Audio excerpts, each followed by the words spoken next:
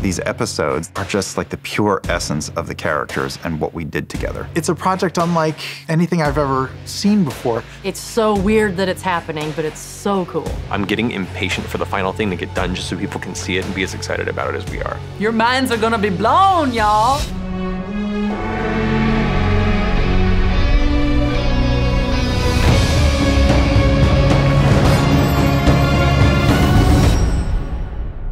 As a person that has been a lifelong fan of cartoons, it's kind of been a dream to work on one from a production standpoint, let alone from a voiceover standpoint. And now to kind of marry them all together and have it be based on something that I kind of made up is crazy.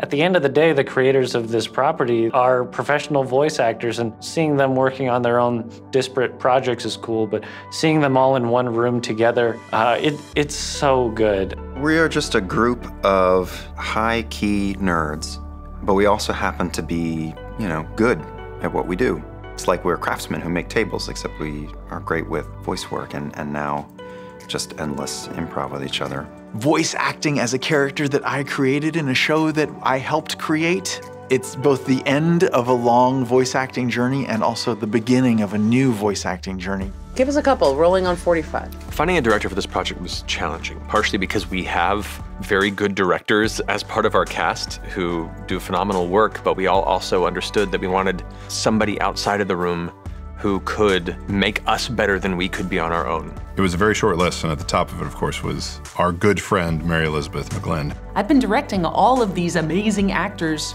for years. For me, creativity comes with trust, and I think we all trust each other enough to help bring out the best with each other, and there's enough respect there to make sure that this collaborative area is safe.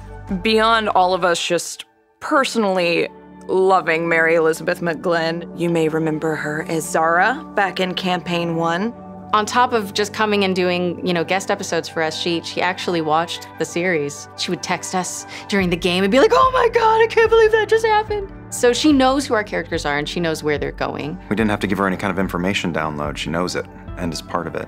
Those few episodes that I actually got to go on as Zahra in Critical Role changed my life. It changed my perspective on so many things, and it taught me how important storytelling was. It's been amazing uh, watching her come into uh, each one of the sessions, settle us down, get our minds in the right space for where the episode is, and then just step back with her baton and just start to conduct the symphony of idiots that's in there.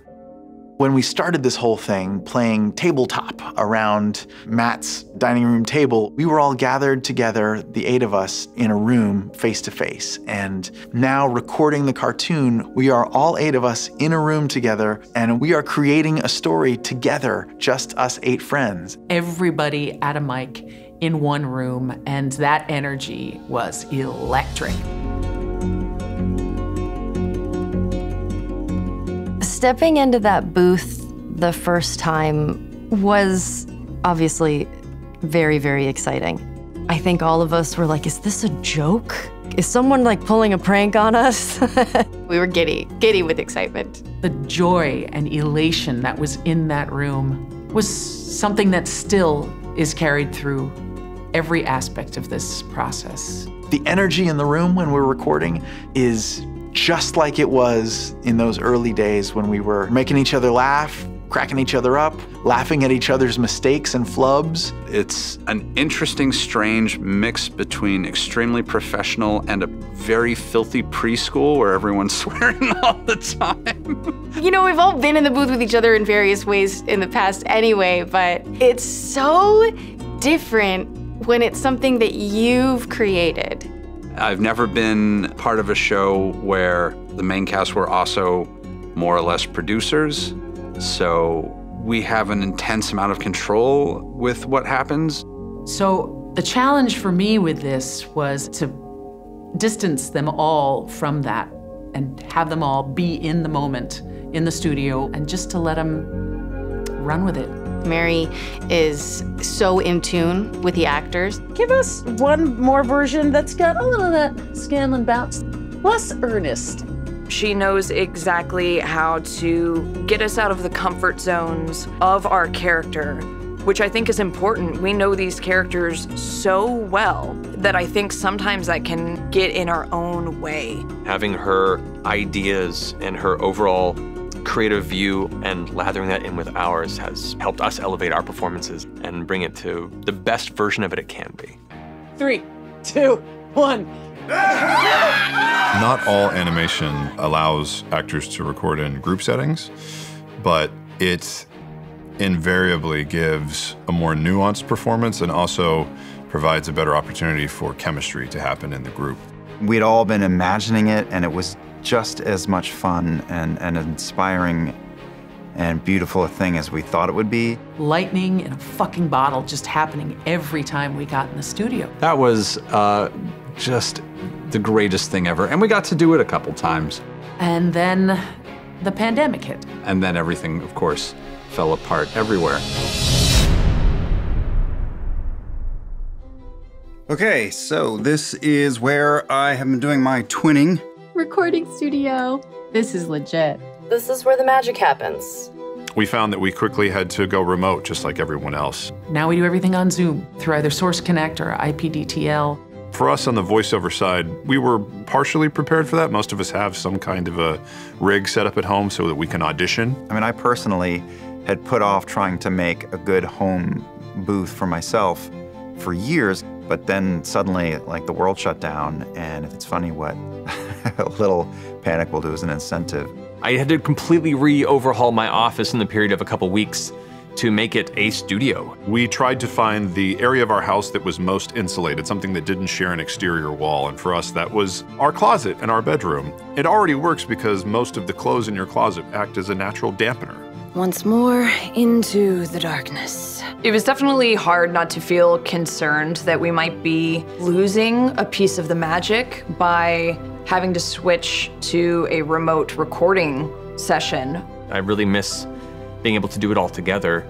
But thankfully, a lot of us came up in video games, so we're used to the solo recording experience, and a lot of us can still deliver at the top of our game without having other people there to play off of. We record each individual actor from home, usually one at a time, but sometimes two or three people can record together via the magic of online communication. So, if there are scenes where you really want that more conversational dynamic between two actors, we've done sessions where Liam will stay on the Zoom call with me and he is reading his lines. That way, Keyleth sounds the most genuine in her response to him. Even though we're separate, there are some positives to it. Since we're recording individually remotely from, from different locations, we can talk over each other all we want.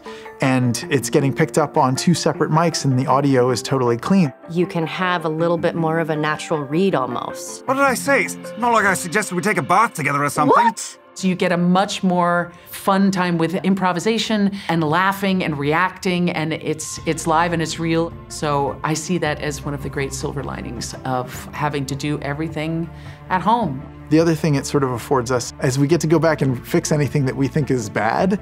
So, like, Liam will watch an episode of the show and be like, Ooh, I wish I could redo that line. And we're like, Hey, guess what? You can. You own a microphone, go record it. I don't know if that's a good thing or a bad thing, because I can potentially spend 10 minutes on a single line doing 15 takes because I just want to make sure that it's perfect, and we're always our own worst critic. It's turned a lot of really good scenes into excellent scenes. We've all been forced to readjust, but we've all taken that challenge. Normally, in a project like this, you're kind of in the dark about things, but we all know what we're doing, what everybody else is capable of. It also helps that we've played these characters a zillion times. Performance wise, I don't know if it has affected anything other than me just consciously knowing that I'm in a closet.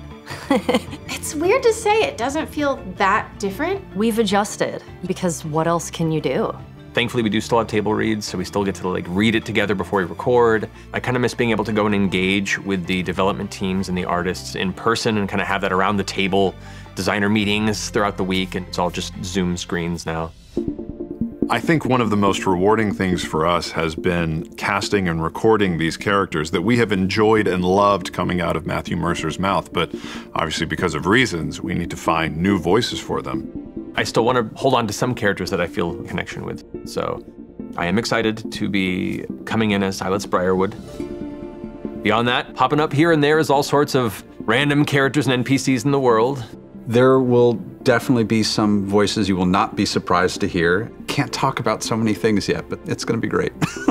when it comes right down to it, we love acting with our voices, whether it's in radio commercials or, or video games or our own animated series. So you can bet that we put our heart and soul into every recording of every line. It's crazy that we've got to make this amazing show that I cannot wait for people to see in little pods all by ourselves.